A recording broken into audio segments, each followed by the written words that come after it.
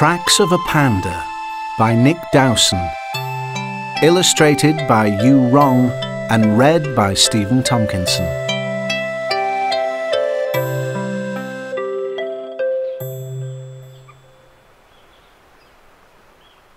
High on a mist wrapped mountain, cradled in a leafy nest, Panda holds her newborn cub gently in her giant paw.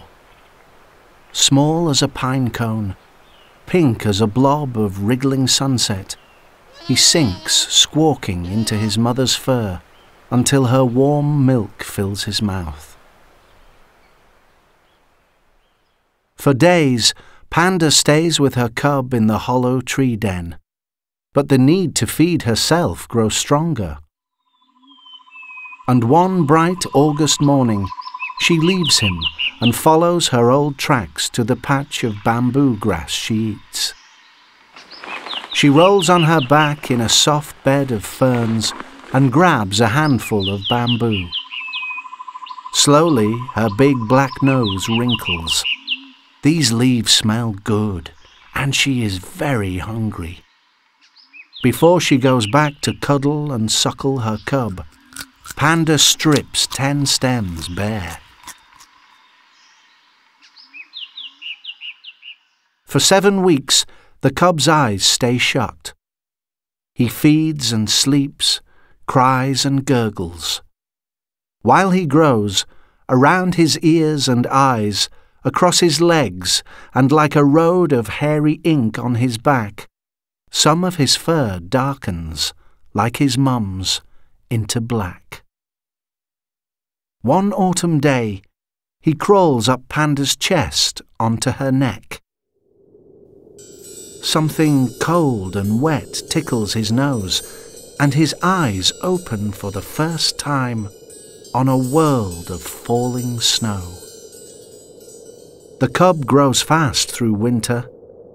He still climbs and plays on his mother, but now he takes his first steps along the mountain tracks. But Panda has not eaten well for weeks. Her bamboo patch is dying. Now that her cub is six months old and strong enough to travel, she knows they must find a new home.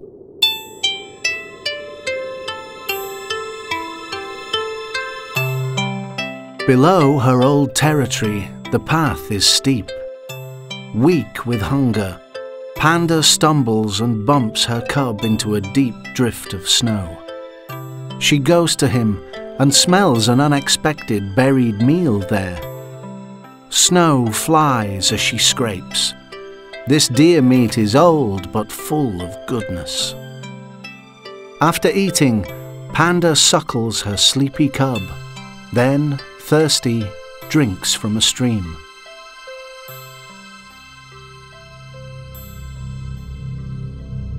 A shadow slips through the trees. Closer it comes, its long tongue lolling.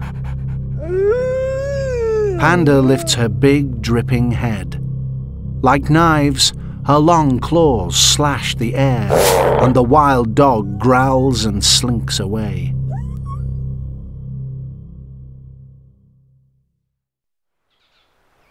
With danger in the forest, Panda needs a safe place to sleep, in a tree. She hugs the fir's frosty trunk with both arms, and her strong claws and furry feet grip the bark. Her cub clings to her shoulder as they clamber towards the clouds. Then he leaves her and scrambles to his own high perch. When she wakes, Panda suckles her cub but still needs food for herself. They move on. Soon she sees a new mountain rising, with bamboo on its slopes. Cold water laps at her tired feet, and she walks into a stream's dark pool. Her paws touch bottom all the way, but in the middle the cub has to swim. He kicks hard with his feet, and his paws turn to paddles as he pushes the water behind him. This new territory has plenty of food. Panda won't go hungry now. Her cub, too, begins to eat bamboo.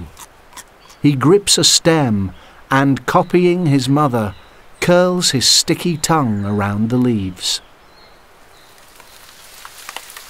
Spring brings warm rain, and juicy new shoots of bamboo poke up.